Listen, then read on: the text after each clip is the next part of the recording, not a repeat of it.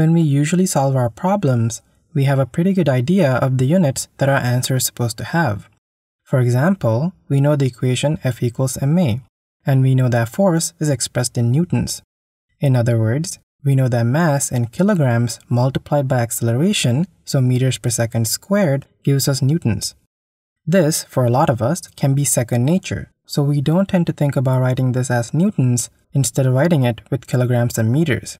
However, when we solve problems where we aren't familiar with the units, it can be troublesome. For example, here's the equation to solve for atmospheric pressure using a barometer. That's density of the material times the acceleration due to gravity times the height above the free surface. If we write down the units for these, we have the following. You can of course memorize that if you multiply this out, the units for this will be pascals. But there is also another way. We can use something called unity conversion ratios. The basic idea is to use units we know to figure out what we don't know. So for example, we know that 1 Newton is equal to 1 kilogram meter per second squared. Another way of writing it is this. This is a unity conversion ratio. They are unitless, and because of that, these ratios can be plugged into a calculation to convert units.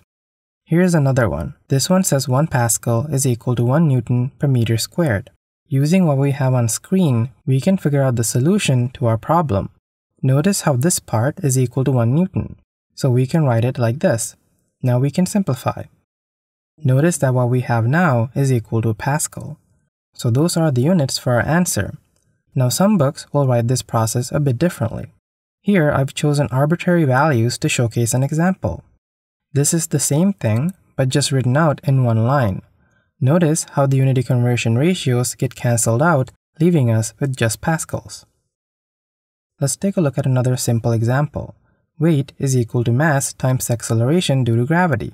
Here, our mass is given in grams instead of kilograms. So rather than writing it already converted, we can write a unity ratio. 1 kilogram is equal to 1000 grams. The other part is for newtons. Notice how the units get crossed out and we're left with just newtons. So keep this in mind, some books have it written out like this and others do not. But if you ever need to figure out units, remember the unity conversion ratios. Thanks for watching and best of luck with your studies.